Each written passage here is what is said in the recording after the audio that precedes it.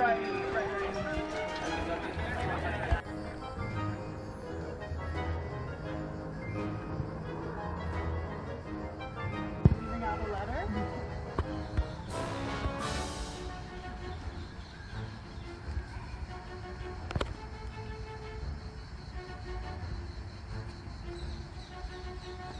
then turn this.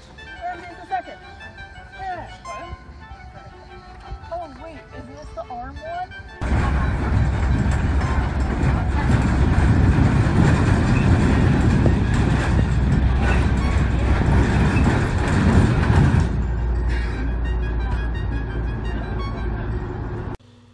Hello.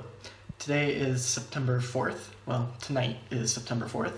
It is the seventh day at the Centro, which means I left San Francisco a week ago.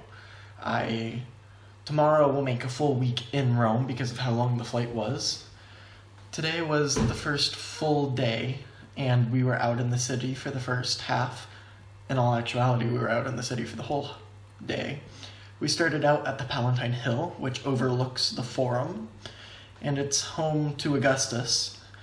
But we went over the pre Republican arcane Rome. So the Lupercal, the huts, some rivers that went through, how the Forum used to be a marsh, things like that. It was really cool getting to walk around and see all that kind of stuff. Um, after our lectures at the for at the Palatine Hill, we walked down through the forum.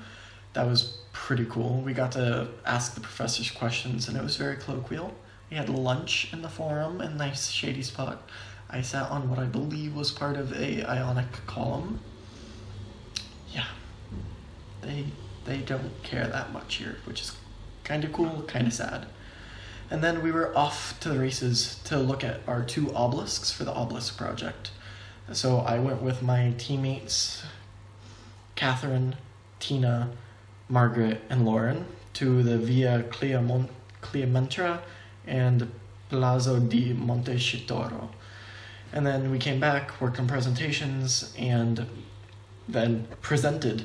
It was a very fast paced project, but it was cool. It went well. It was fun and then dinner. So I guess it was kind of a fast day because we didn't do too much, but being out in the city was awesome. I was so happy and it was outstanding.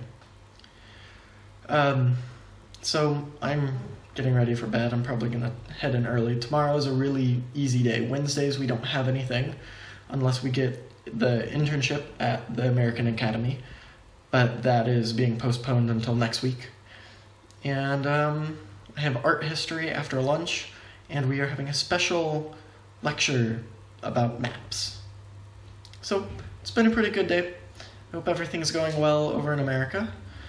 If please feel free to like ask me questions. I'm kind of lonely in the afternoons. Everyone kind of goes to their rooms, so please feel free to message me. And that is it. So I guess we'll talk again soon.